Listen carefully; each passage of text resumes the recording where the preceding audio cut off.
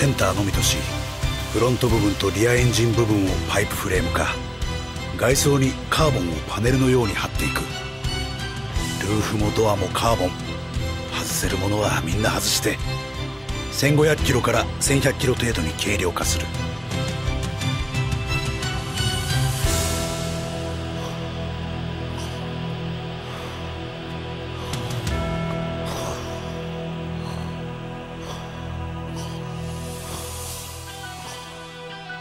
金小僧が。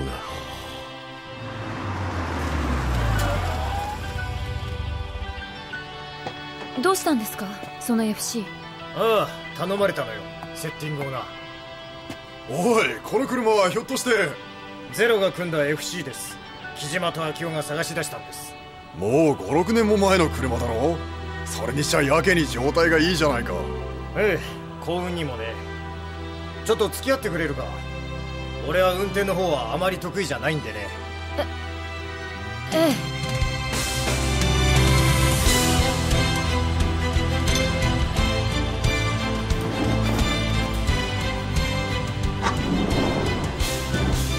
え。いいタイミングで来るよな。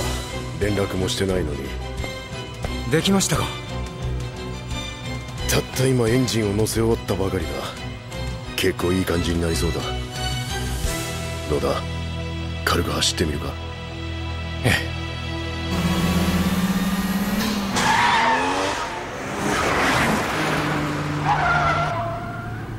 オッケー。もっと踏んで。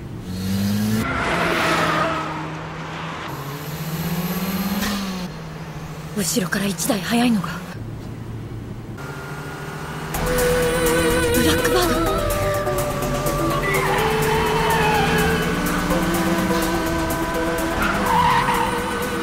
仕上がったんですね。カーボンボディが。うん。だがまだ試作状態。必要最低限のボディ合成から走らせて補強。そして仕上げていくというわけか。リアバンパーに抜きのダクト。インタークーラー左右振り分けだ。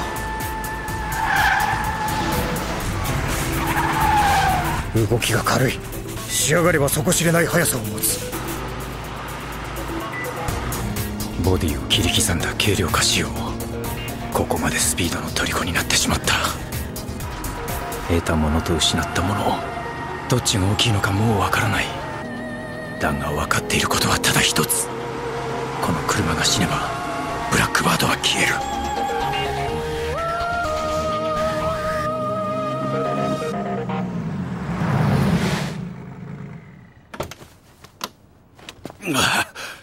どうだ高木？いやーもうすごいことになってますね。車体の軽量化がここまで効くとは目もくらむ速さですよ。僕としてはこれでもう 100%OK ですけど。いやいや何のためのパイプフレームだ。ここからのワンポイントの補強追加が勝負どころになるわけよ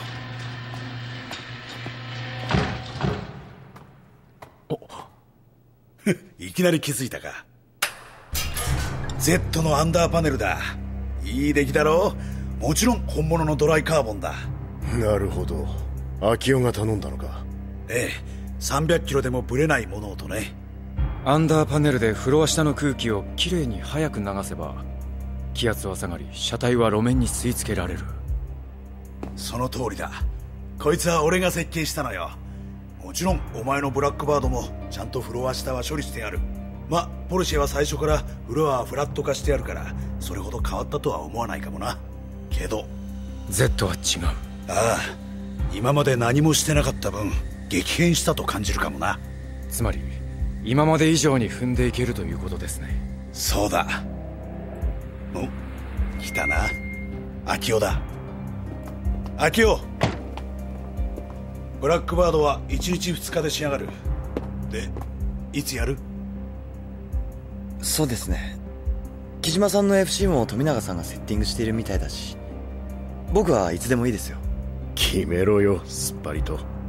じゃあ週明けの水曜あたりとか。割と一般車も少ないですよね。OK だ。週明けの水曜に会おう。はい。究極の三つどもえバトル FC は実装セッティングか。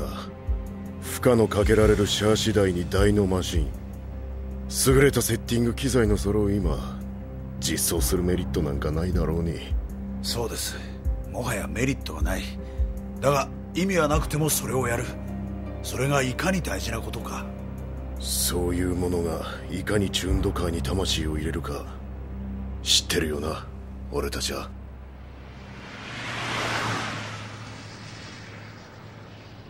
速い車の持つオーラってのは出てるかな緊張感のあるそういう空気っていうか。ほらお前の口癖だったろ。それから伝言だ。水曜1時辰巳パーキングエリア。相手は Z とブラックバード。全て俺のセッティングした車だ。変だよな。俺だけでなく高木も北見さんも。変？どの車も完璧に作り上げて互いに競わせるただ一つ単純な答えを知りたいためだ。どれが一番速いのか。そういった意味じゃ俺も十分変ですよ。口八丁で食ってきた自動車評論家がその車を走らせようとしているんですから。お前の車に GPS をつけさせてもらった。俺はデータを追うこいつは十分に戦える戦闘マシンだ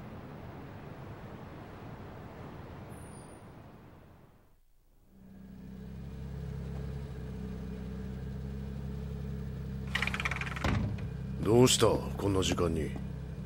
今日は走るんじゃなかったのか？今から出ます。で隣にどうかなと思いまして。隣にか？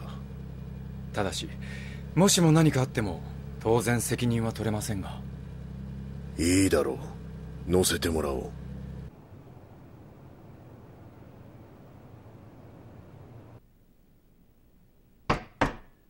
空いてるよ。こんばんはどうも。えー、っと。レーナさんですよね？3人 R の。ええはじめまして。リカ子です。親父や富永のおじさんがいつも言ってましたよ。見かけと違ってめちゃめちゃ踏むって。いやそんなには。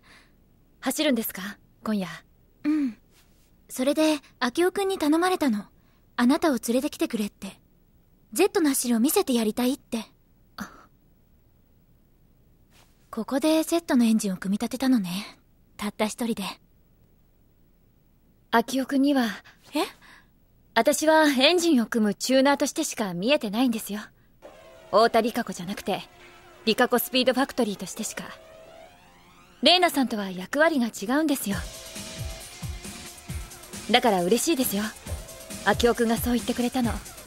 エンジン組む人間として一人のチューナーとして認めてくれたわけだから。見たいですね実戦での Z の走りを。未熟かもしれないけど今の私にできることは全てやった。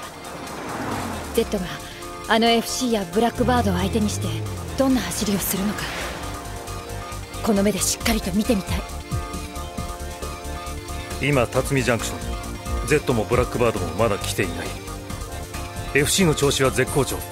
子猫のようにしなやかだ。もし10年先の俺が見たら愚かなことをしていると思うかな。達者な喋りと器用な原稿でここまで来た自動車評論家が何をとち狂ってるってね。伝わるかな10年先の俺に。この気持ちが。Z が来た。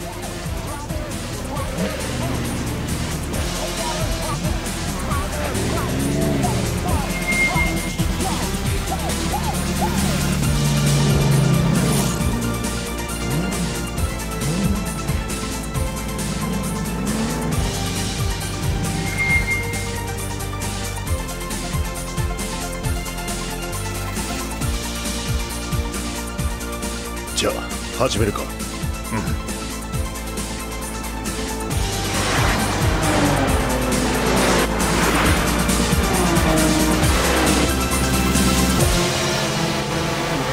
今日ではっきりする。誰が今湾岸で首都高で一番速いのか。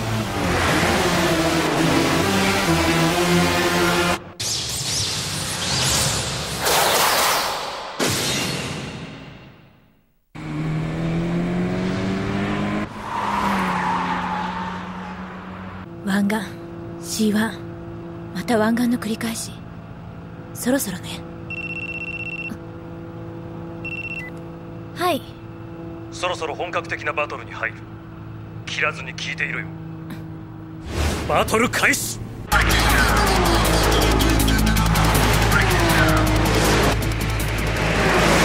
！3台並んでものすごく速い。ダメついていけない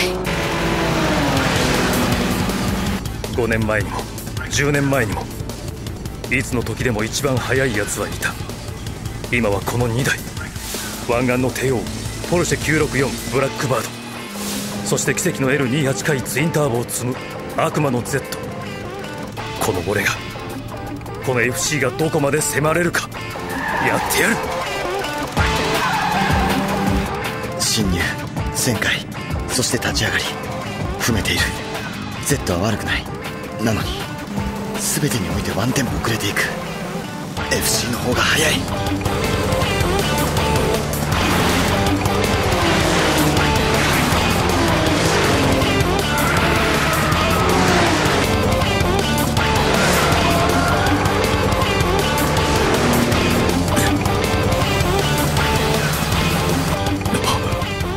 マジでこのポルシェは軽そうだ。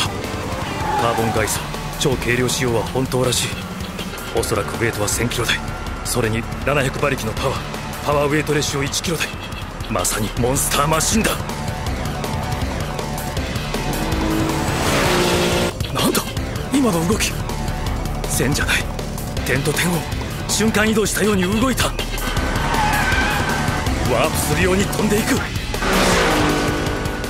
まるっきり別のエンジンを乗せているみたいだ。かに軽さが車の印象を変えてしまうか。感覚的には1000馬力級の車に思える。それにしてもこのトラクションはどうだ？前へ前へと車を押し出していくトラクションの塊だ。高木お前のやりたかったのはこれか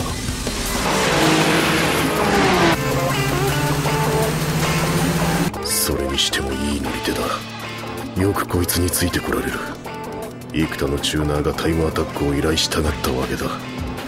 ゼロの記事はチューンドカーをよく知っている。いけるいける。ちゃんと勝負できてる。よし並んだ。地面をつかみ蹴る。いつでもどこでも前に出られるこの揺るぎないトラクション。だがお前は分かっているのか高木巨大なるこのトラクションが抜けた時はどうなるのか。離れる。どうしてもここから離されていく。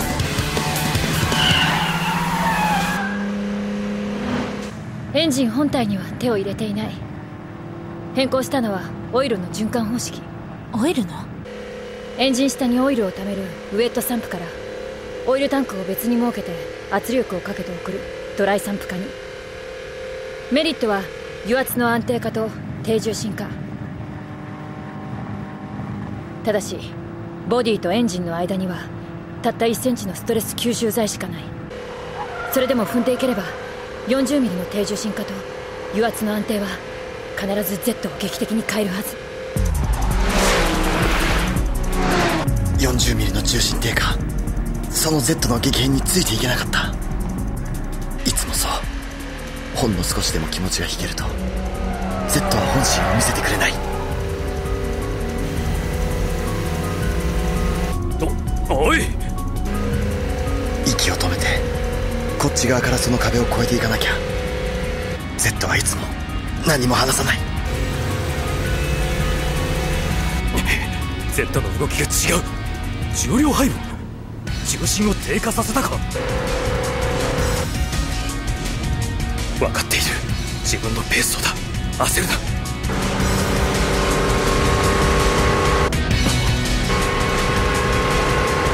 フロントの低重心化で嘘みたいに前輪に荷重がかかって舵が効いている。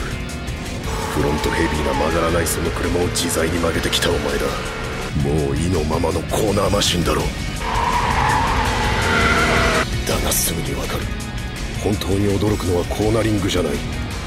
重心低下オイルの安定ドライサンプは構造上フランクシャフトがオイルをかき上げない。その摩擦の低減により数パーセント出力は上がる。600馬力の車にとってそれはわずかなことかもしれない。だがそれをわずかと笑う者にチューニングを語る資格はない。その車は必ず答えてくれる。アキオお前は Z に選ばれし者なんだ。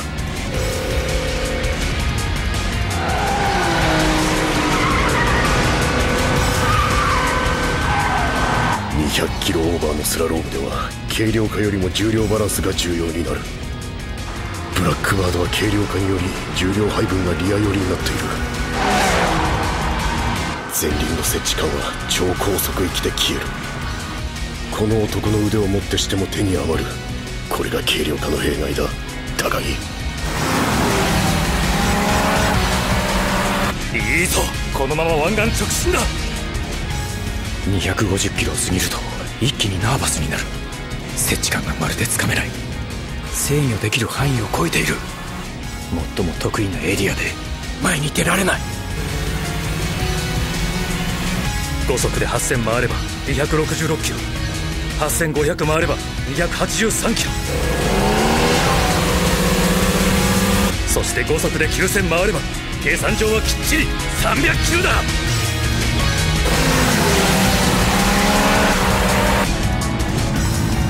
作戦通り俺の勝ち。こ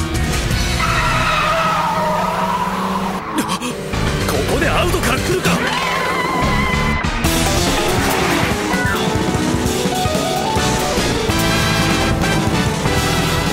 マジかアキオ。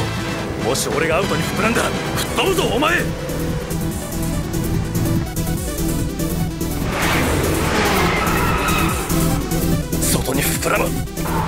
負けて FC が路面から剥がれる。こらえろ前へ。前へ。コーナーから立ち上がって再び5速9000回転。300キロ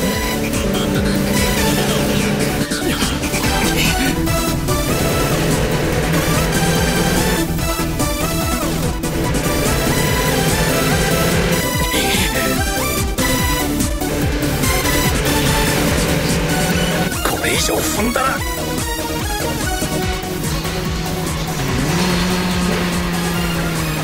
ダメだ。踏めない FC がスローダウン。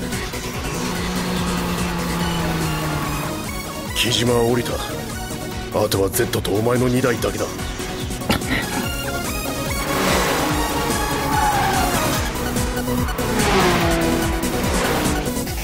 バードが追っている。だが Z が速い。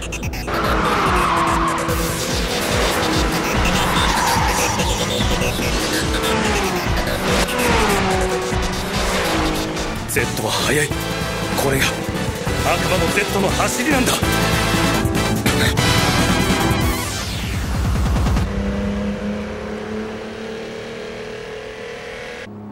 踏めなかったのか？こいつによほど失望したみたいだな。いいえ踏めなかったのは自分のせいです。これほどのものを与えられたのに最後の最後で命を預けられなかった。Z もブラックバードも同じ機械のはずなのに向こうは踏めてこっちは踏めなかった。あの二人は機械と人間の壁を越えた。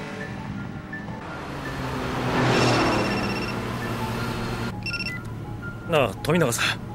ちょうどいいタイミングです。どうして踏まなかった？ブルってしまったんですよ。無理してこのフィールが消えてしまうのが怖くて。そうか。ブルったか。え。時間はあったんです。十分に。でも大事なことには気づかなかった。圧倒的な加速や旋回。そしてトラクションに何も見えなくなってしまっていたポテンシャルは間違いなく一番なのに。壁を越えられなかった。降りるもの残るもの。この世界にはその二つに一つしかない。俺はここまでだ。だが走ることによってお前と話せた言葉。走ることによって見えた同じ世界。同じ時間。同じ空気を感じられただけで俺は満足だ。お前はどこまでも走り続けていけ。Z が速い。エイジさんわかるよね？今のこの気持ち。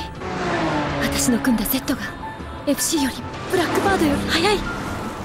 見事な車に仕上げたな。これで俺は自転車操業の自転車屋に戻るかな。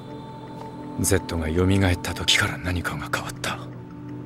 走りに対していつも冷静でいられたはずなのにそれが崩れたいつでも降りられるつもりでいたスピードの世界からもう抜けられない。これからも追い続ける。あの Z に選ばれし者を。私の思いは変わらない。初めて会ったその日から。手を伸ばしても届かない。でも私はあなたを追い続ける。アキオこれがお前の世界だ。お前が望んだ世界。Z に選ばれたお前だ